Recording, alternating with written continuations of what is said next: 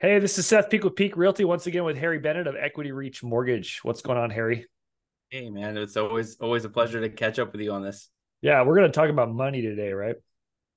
We're going to talk, talk about, about money, talk about some real estate, some opportunities, some pitfalls, some lawsuits. We thought we'd have like a little uh, catch up chat on some random little topics that are not as as wide ranging today. Um, number one, you know, going into the loan amount, what goes into the loan amount when you're applying for a loan and uh, closing escrow on a home, what gets considered right, mm-hmm. and then maybe um, talking about how realtors uh, get paid and how lenders get paid out of the whole situation, and how that might be changing for realtors here in the future, and um, and yeah, just anything else that might crop up out of this conversation. Anything else you had on your mind, you know?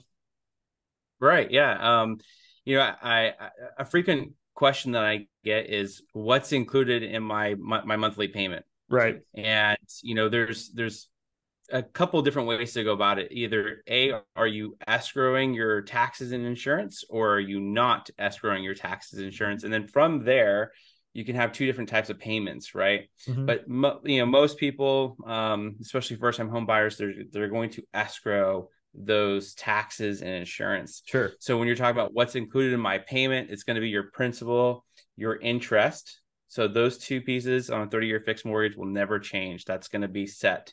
Mm-hmm. Your insurance, however, may change over the life of that loan, and then your taxes may gradually go up over the life of the loan. But all those are included into your um, your payment if you have it escrowed just to um, humor me a little bit, why would somebody not want to include their, let's say, taxes and insurance in their mortgage? Well, um, you know, say if you're putting, you know, you're 20, you're putting 20% down or 50% down, and maybe you're you're kind of savvy with uh, taxes mm-hmm. And um, you decide that you want to pay your tax bill with a credit card to earn points and then mm-hmm. you're going to pay off the credit card. I've had people literally say i do it for the points for the miles. Um, they sometimes they feel a little bit more in control with right. um, you know their monthly payment because the monthly payment is higher. If you escrow everything you're you're still paying the same amount for the, the year no matter what. Right. However your monthly payment is is higher because you're including it instead of having this big chunk of a payment come out twice a year for your and are you accruing interest? Yeah.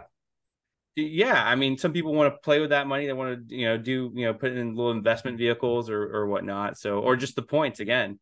Um, and then the same thing with with insurance. Um, they could just make one you know quick phone call which you could still do anyways when you're just because your insurance is escrowed and we close with that insurance it mm-hmm. does not mean they have to be it has to be that policy you still have to have insurance right on the property right because or else the more the the mortgage company is going to force insurance and it's going to be For super sure. expensive. Yeah. But um, but you could still shop around and, and, change insurance companies later on if if, if you find you're if you're not happy with with that current provider. I mean, I don't want to get too far into the weeds with that, but you know, we've had clients that have uh, needed insurance like on the, the, during the witching hour of closing escrow, right? and they're like, "We're going to get yeah. this. This is super expensive." But then the week after they close escrow, they start shopping around for a better policy. I mean, it's kind right. of like you you need it, you need it to you need it to close escrow and fund the loan. Yep, I had that happen to me as well. Uh, we had a client that was buying in, in, a certain location here on the Central Coast, and uh, we had to move. The what ended up happening is the the close of escrow date went up earlier, mm-hmm. and uh, um, that was going to mess with that current policy. So they ended up canceling that policy and then going with a different policy, which increased their uh, their monthly payment by about 20 bucks. Um, so it's not a big deal, but the most important thing is on a on a purchase is that you're meeting those deadlines no matter what. For sure. For sure.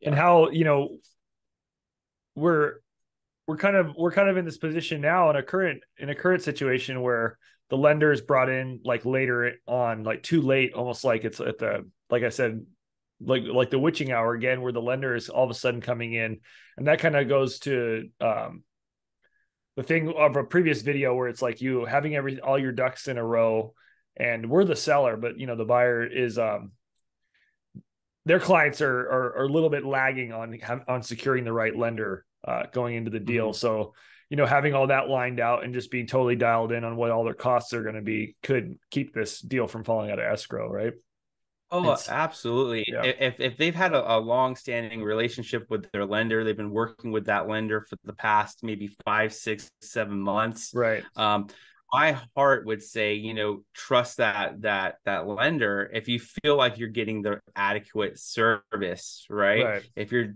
not satisfied with the service and you're calling and you're left with questions unanswered i'll get back to you and then they don't get back to you uh, this is a problem uh, in in lending and that's what makes each mortgage company different to because it's only as good as their people right? right i'm only you know like Equity Reach's you know only as good as, as the people we hire uh SESLOC same thing or loanDepot or any of these other companies are only good as the people that you put in in place for sure. So, um, if you have a you know unique situation um, that needs a little bit more attention, then you know you want to factor that in because what you don't want at the end of the day is you know everyone's going to get you know quotes on on rates and you can quote it all out, but it doesn't mean that it's always going to close.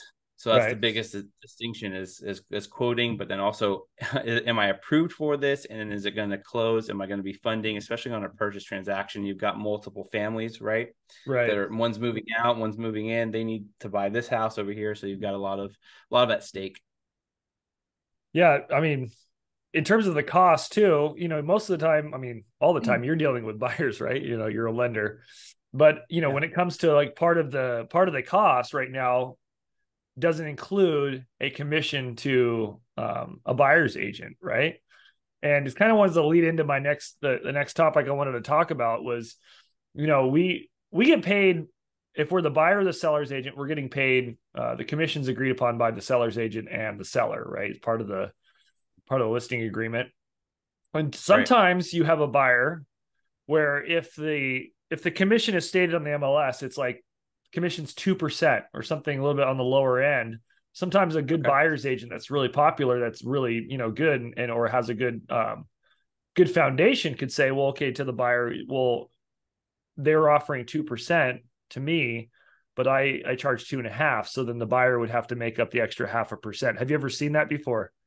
Where the buyer actually agent... i have. Yeah. One so time and That's... I've never seen it before, and uh, and we're, it almost caught me off guard. But yeah, I have seen it where the the buyer's agent actually charged the the the client that they're representing. Yeah. So that it's happening. So in the in the realtor like um you know media circles or like uh national like channels that you see like Facebook or in, in like conferences and stuff, we're now talking a lot more buyers agents are talking about uh making up that difference to get the dollar amount that they um that they that they want. Because sometimes the seller's mm-hmm. agent is going to say okay it's 5% it's going to be 3% to me and then 2% to the buyer's agent right? Or it's 6% right. it's going to be three and a half and two and a half right? So the the buyers it's it's a way for the buyer's agent to say like this is what i'm worth and this is what this is how i what i do to get you the right home. This is my negotiating power. And so that difference is going to be coming out of the loan most you know so it's it's not always known if the buyer's going to like that's not a known variable on your end in the beginning mm-hmm. when you're pre-qualifying somebody that extra cost uh, that extra yeah that would be a closing cost yeah. right right but you know we're talking about like how realtors get paid and what's top of mind for me right now is this uh, lawsuit with the national association of realtors basically saying that uh, it's an antitrust suit saying that buyers and sellers should pay separately the lawsuit is that you know they want they want the buyers agents and the sellers agents to be paid by their prospective parties. Um, okay. this is this is a kind of a big deal uh, because realtors are going to have to uh, be competing with each other for buyers which is a lot bigger of a pool. And usually you're going to have more of a competition uh, with buyers um, than sellers with especially with inventory so low. So it's the worry is it's going to be a race to the bottom with realtors saying, well, I'll only charge you half a percent or I'll charge you a flat fee. You're talking about like these big online platforms doing flat fee uh, representation for like whatever, $500, thousand. 1000 I mean, even yeah. most houses around here, 5,000 would be a bargain, right? You know, usually, uh, you know, if you're like at a $800,000 price point, that's a bargain if that's all you hmm. had to pay your buyer's agent.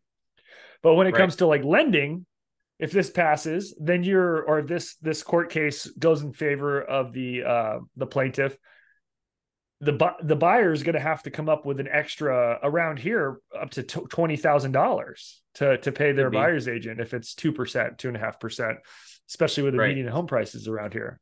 So how do you and foresee that playing yeah. out? Have you gave that much thought? Oh, um, I haven't really given that much thought to be honest with you until they, you know, say this is the way we're going to change the, the this is the new rules, right? So, because I because that that would that would be a big disruptor in, into you know real estate because right now you know buyers when when they're going out shopping at a home you know they meet you at like you, you meet your realtor at an open house maybe right yeah. and they provide a lot of value a lot of service you know and at the end of the day, it's like you know you're you aren't really paying them separately out fr- up front for that service, right? Mm-hmm. It's they they only get paid when the when the deal closes, right? Right.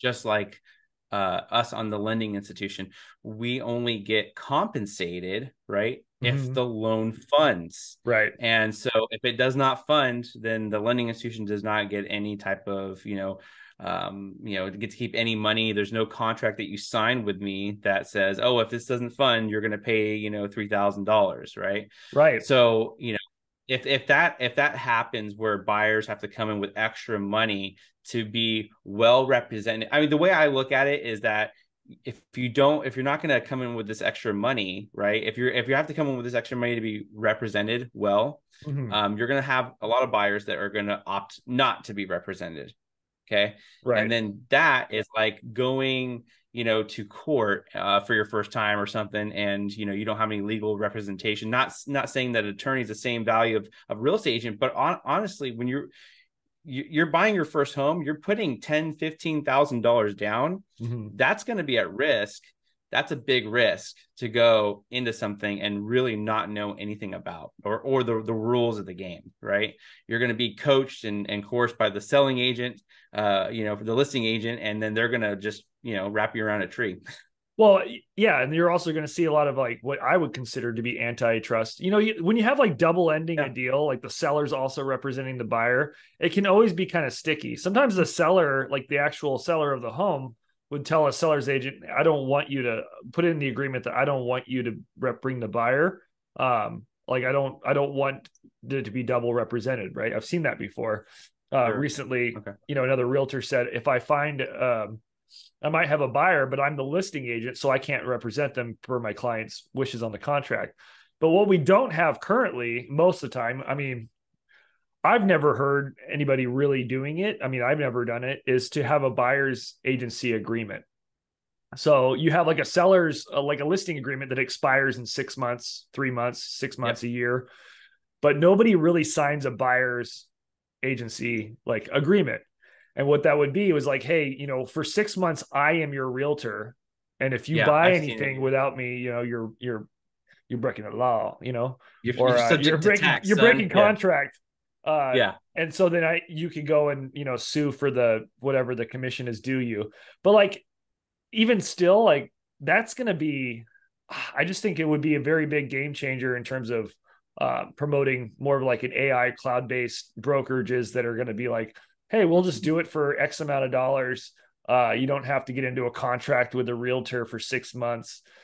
And uh, I just think uh, it's going to be interesting how it goes that, for sure. I mean, honestly, you you bring that up, and that could be a very real thing, you know, where AI starts coming in and and asks it questions, you know, the mm-hmm. the the client like, hey, what would you like to offer? Da da da, and it automatically computes, sends it in, um, and then you'll you'll lose that touch, right, of a of an actual professional. I think right. that's the difference, right? These tools are great and they can do a lot of really nice things, but at the end of the day, um, the computer is not going to hold your hand. It's only as good as what you told it to do. Right the input, right? What's on yeah. the internet already is what it knows, basically. Yeah. yeah. Uh, but you know, with with commission being paid out by the buyer, I think the buyers are going to be shopping. The consumer is going to go, I'm going to want to spend less money as much as possible, especially a lower like tier, you know, someone who's buying something at a lower rate that wants to save every penny they can.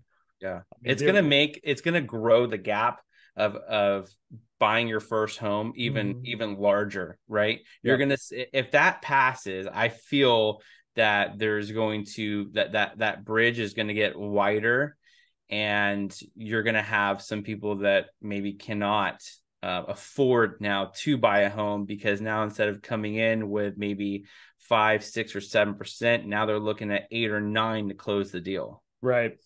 Or buyer's agency is just going to become something that's more of like a like a commodity that's just going to drive down the price because you know a lot of realtors might get out of it they're like i'm not making any money as a buyer's agent uh, listing agency is going to be you know like gold having listings is going to be like gold but uh I mean, that's what they they already are, right? So listings, or maybe that all but, shifts over, yeah. right? And then when you sign a listing agreement for, you know, five percent, you know, you are going to list it as maybe the whole things get changed, and, and then you are in control of, of, representing the buyer and the seller, and that's just the way it has to be from now on. Right. There's a couple countries that might be like that. Still, I'm not sure where you they basically do both. But anyway, I I just thought it was pretty interesting. You know, from what I hear and what I read, it's not really going like it's not really going like obviously in favor of NAR. You know, it's it's not obvious that NAR is going to win this uh, defense, right? So we kind of just have to plan for it and see what happens. But it might just mean that buyers' commissions are are going to be lower in the future, you know. But man, getting be... under contract with the buyers to say, you know, you know, we're being we're being told like in our in our coaching groups and stuff that you know start like looking at buyers agreements now and you know pitching to how it secures them and it secures you from offering the best service if you're an exclusive uh, agency for their yeah. for their buying and kind of getting into practice of talking about that because we're here for the client's best interest. We want to make sure that they're getting the best deal no matter what. And if we're yep. if we're the buyer's agent like we're the the commission right now is already set. You know, we're yeah. being told, okay, it's one and a half. That's really low. It's two and a half. It's three. That's really good. You know, but we're we're not going to go and personally treat the deal any differently if it's a half a percent different. So the way it is now is a you know it's as a buyer's agent, it's not you know you're getting us 100 percent like you're getting the Peek team 100 percent if we're your buyer uh buyer representation, right? Right. Yeah. Absolutely. And that's I mean that comes from like a, an ethics standpoint that you know that you you and your wife have, right? Mm-hmm. You know, if that not everyone will be equal to that, right? There's going to be some people that are like, oh, I'm, I'm only getting one percent. You know, I'll take that call on Monday. Yeah. Uh, you know, so um, you know that that'd be a, a very interesting dynamic. Uh, but I, I think at the end of the day, you know, like when I first was buying a home, right? When I uh-huh. when I peel the onion back and I go at my core, when I was first looking at homes, um, I didn't start with a pre-approval. I didn't start with a lender. Um, I just went to an open house, and just because I just wanted to go see what was it all about, right? And uh-huh. just you know talk. And so you know, it had like my my agent said, "Hey, um, here's this buyer's agreement, right?" And basically it's going to solidify us as a team and it's going to make sure that my work at the end of the day isn't all for nothing and it has a time frame to it but i want you to sign it because i want to be committed. We're committed to each other and i want to you know do all all things i can. I i would have i would have signed it right, right because right. i wouldn't have want him to do all this work or her to do all this work and then me go yeah i'm going to go this way. That's just not me yeah. This is not me right? So um I, I wouldn't have a problem signing it but if i had to come in with 2% on top of that that's going to be a tough conversation for tons of people.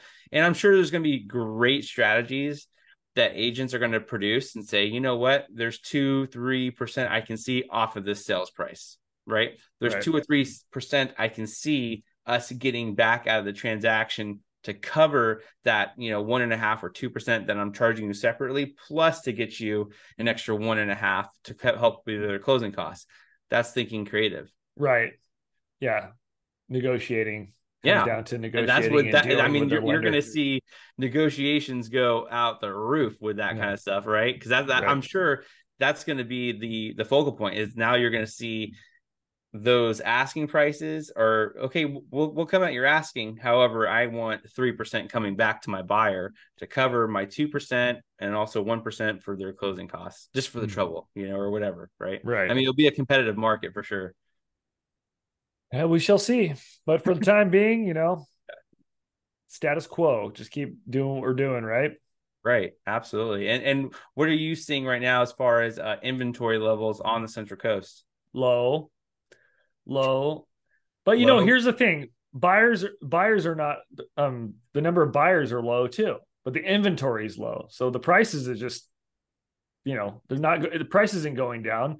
It's just disinflating. It's not deflating, it's disinflating. It's just slowing down the inflation rate, right? Yeah. It's going backwards a little bit, but it's not it's not getting cheaper. It's just remaining re- maintaining the what it is. I think like, you know, a few weeks median um a few weeks on the market is like normal for the normal houses. I think it's like uh 30 to 40 days on the market. Mm-hmm. Uh, it's like the median amount of time it's taking to sell a house. There's less buyers, you know, you know, like we talked about before we got on here, there's less first time home buyers. I mean, there's almost pretty much non-existent at this at this moment. Uh I mean, you could say here and there, but not like it's you know, your average person if they're uber wealthy and they're like Silicon Valley or they're 25 years old and they're buying a house for the first time, it's different than if it's a, a you know a blue collar family looking to buy a house or an entry level home here in the county. It's mm. pretty much non-existent, wouldn't you say so? Yeah, yeah, yeah.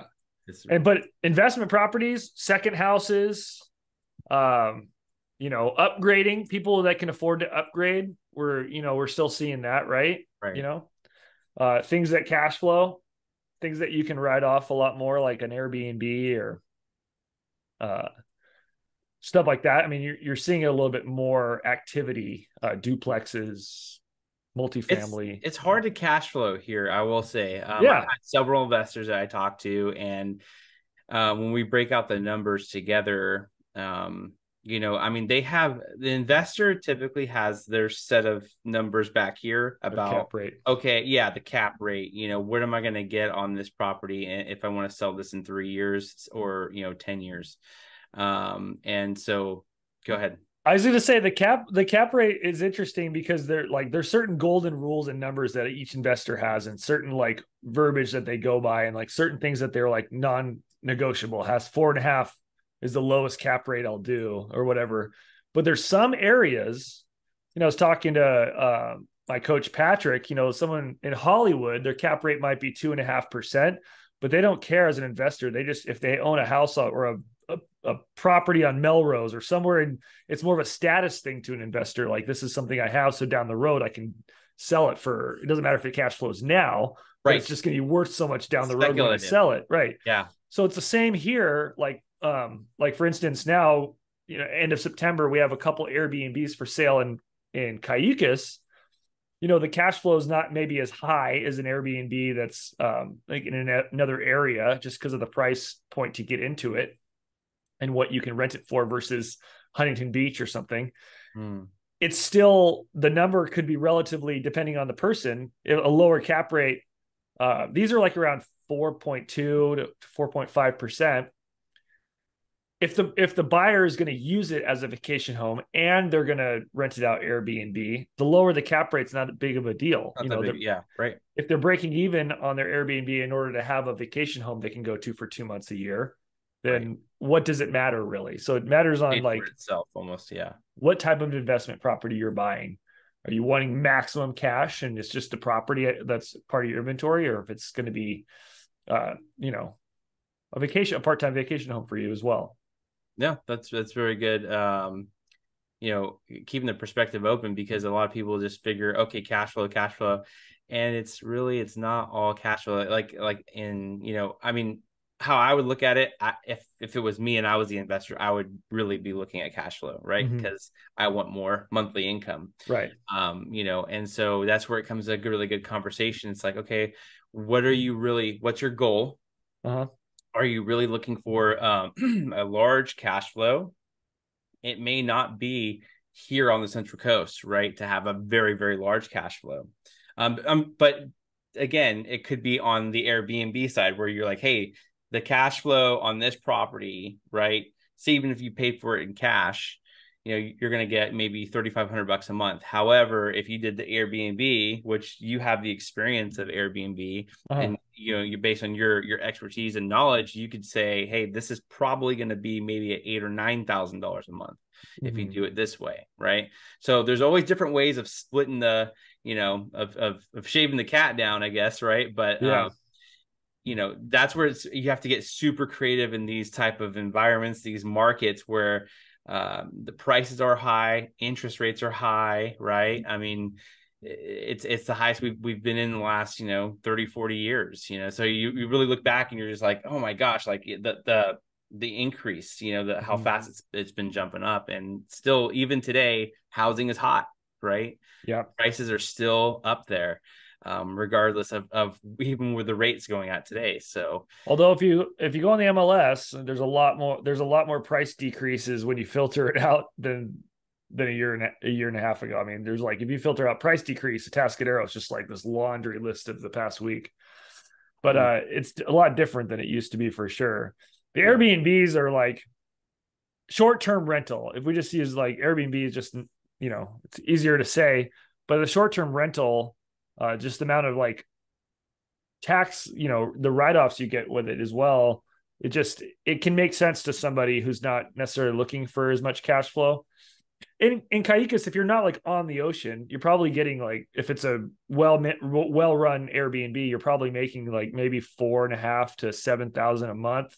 Slow season, four and a half. You know, you're probably getting 250 bucks a night for like a three bedroom house that's not right on the ocean. Mm and it's and so if you're buying a house for 1.2 million you know and you're you're making like upwards to maybe six thousand uh, dollars a month seven thousand dollars during peak season on the house um, i mean you do the math. It, like you said it's not like oh my god we got to get into this. This is a this is like a booming industry.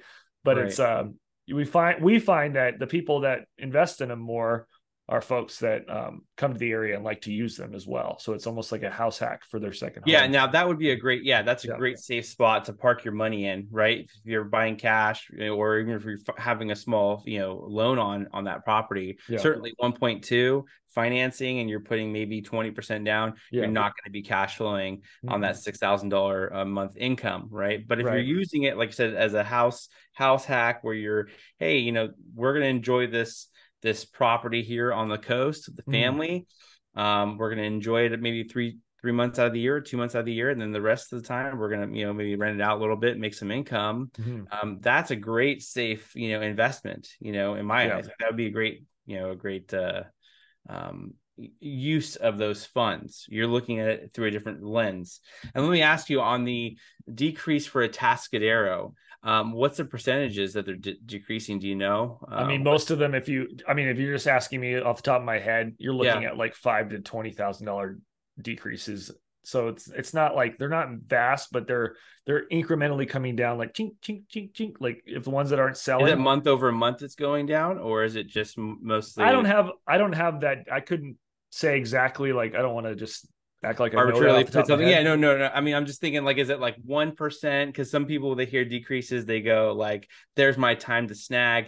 And really, if it's if it's you know twenty thousand bucks, right? Um, that's roughly a you know uh, a hundred hundred dollar payment or something like that, right? Yeah. Um, you know, but if it's if it's five thousand bucks, it's really not gonna you know move the needle too much at face value it appears that a lot of the houses that are listed for more than I think that they're worth right now, the more that the market can bear right now, this people were thinking, oh, the summer we're kicking up a little bit, even though the interest rates are high, houses are ticking yeah. up in May. The houses that went on the market in like August right now, they're the you know, it's going into the fall. They maybe right. priced them like it was May. They're pricing them like late spring pricing and they're starting to decrease now. And so it's just a matter of like people thinking that you know we had a little bit more of a heat up this summer.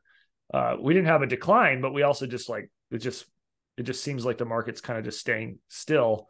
So I really think it's just people coming to terms with they price their house a little too high, especially in a Atascadero.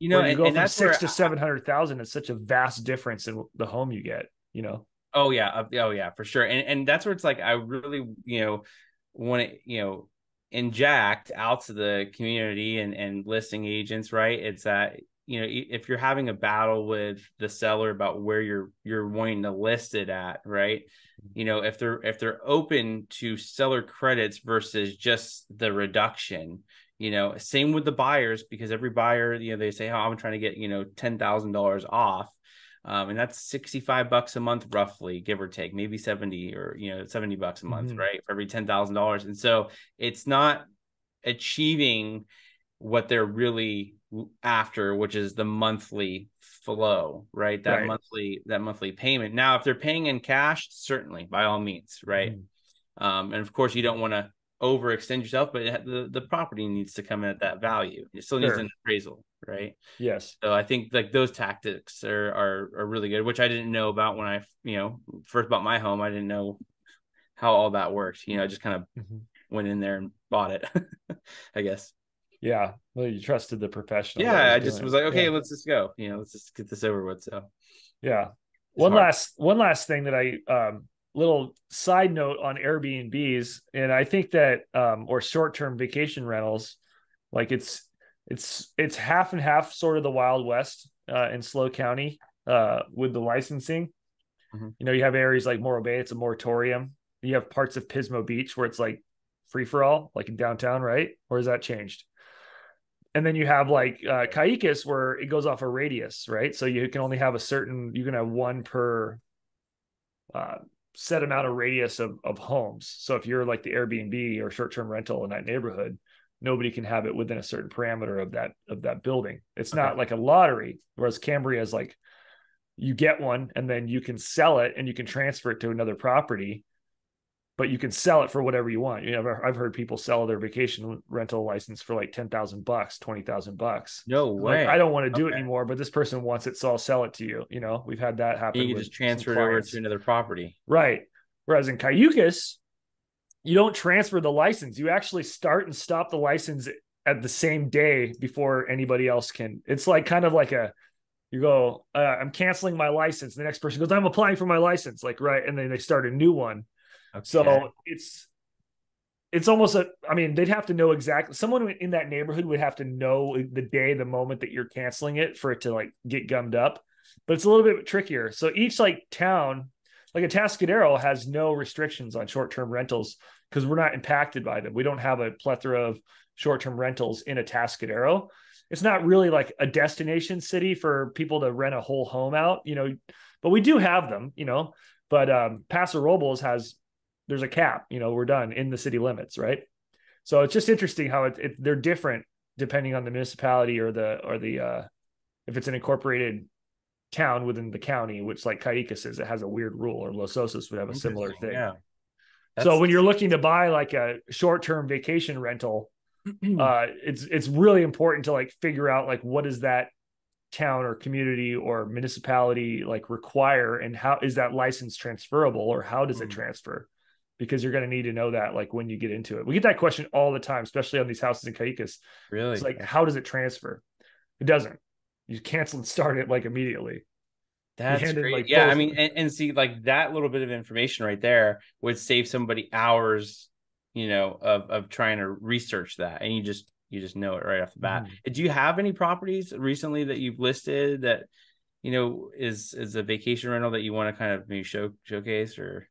Is there anything that's coming up? Well, yeah. I mean, if someone's watching this video like right now, we have two in Cayucos, um, 3191 and 3441 Ocean Boulevard, and they're both across on the east side of uh, the one. They're both licensed vacation rentals and they both cash flow, uh, you know, depending on Are how much you right? put into it. Yeah, yeah. Are they right next to each other or uh, like... they're two blocks away. So we have three 3400 block and 3100 block of Ocean Boulevard. One's a two unit, so you can rent out uh, nice. which is cool because you can have two rentals or you can have one big sleeps 10 rent it for more. And then the other one's a, a three bedroom. Um, but they've both been active for for a couple years as vacation rentals. Uh, we've been managing them uh, for a couple years for the for the sellers. And so they're listed for sale. See which one goes first. And uh and uh yeah if you go back the i think the last video before this one that's published is a video tour of one of them and i'll be publishing another video tour of the other one tomorrow or friday yeah um, just to kind of see what they're all about but Ocean Cayucos- views, right? Yeah, ocean views from the balcony. It's on the east side of the one. So it's you don't have any foot traffic like beach foot traffic, which is a plus. Yeah. Um, it's going to be half the price as uh as the west side of the one. You know, you have some houses on the cliff that are like six million, five million, four to six million dollars. Uh, so if you're on the other side of the of the one, you're in like the one to two million dollar range most of the time. Okay. Uh, maybe as low as 800, 900,000 if it's a fixer upper.